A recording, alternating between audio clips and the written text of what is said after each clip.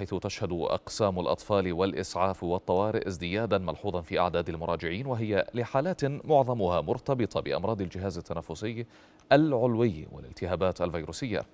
وفيما اعتبر متخصصون أن هذه الزيادة موسمية وطبيعية إلا أن آخرين دعوا إلى تحديد المتسبب وراء هذه الحالات إن كانت إنفلونزا موسمية أو إصابة بفيروس كورونا.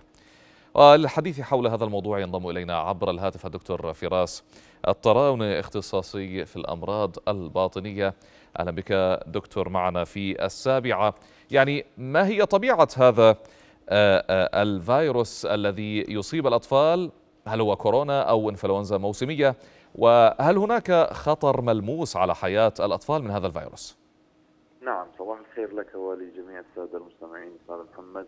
بالنسبة لي هذا الموضوع شكرا على إثارة هذا الموضوع في هذا نعم. الوقت من السنة لأنه للأسف بات يحتمل الكثير من الشائعات من المعروف لدينا الآن من خلال ممارستنا للمهنة أنه بالفعل هناك عدد كبير من الحالات وحتى من الإدخال إلى المستشفيات في فئة الأطفال خصوصا ممن هم دون السن الخامسة من المعروف لدينا أن هذا الوقت من السنة يحتمل الإصابة بفيروس الإنفلونزا الموسمية وهنا لدينا مشكلتين. المشكلة الأولى أننا قضينا سنتين من الزمن نلتزم باستخدام الكمامة وبالتالي قل تعرضنا لهذا الفيروس وبالتالي قلت مناعتنا له.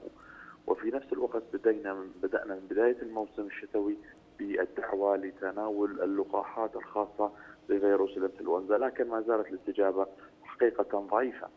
الأمر الأكثر أهمية هو الحديث عن ما يسمى الفيروسات المخلوية أو ما تسمى RSV Respiratory Syncytial Virus. وهو حقيقة ليس فيروس جديد كما يشاع بين الناس. عفوا المسمى الخاص بها الفيروسات ال... المخلوية. المخلوية. نعم. نعم. ما هو هذا الفيروس؟ هي فيروسات حقيقة من المسببات البسيطة لالتهابات المجاري التنفسية العليا كما ذكرت في المقدمة لدى الأطفال.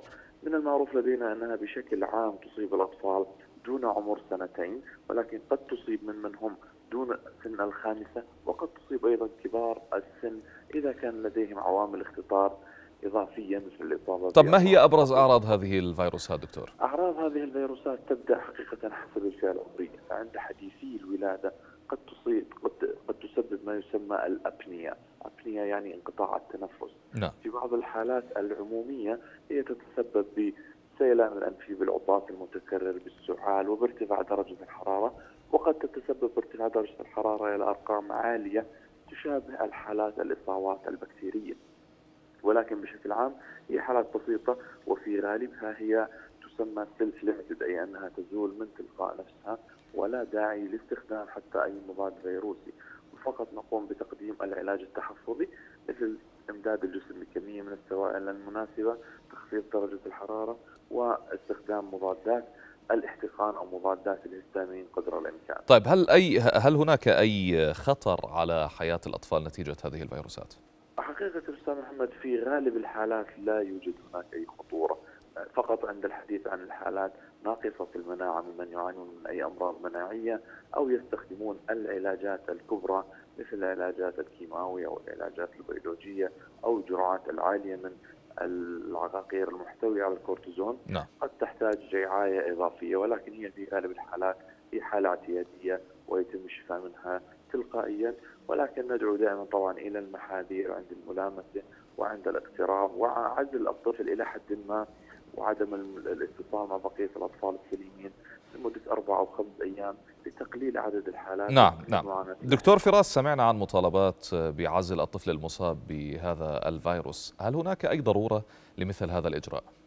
نعم هي حقيقة حتى لو ذكرنا في مقدمتنا أنها حالات بسيطة ولكن هي حالة متعبة ومرهقة حتى للأهل.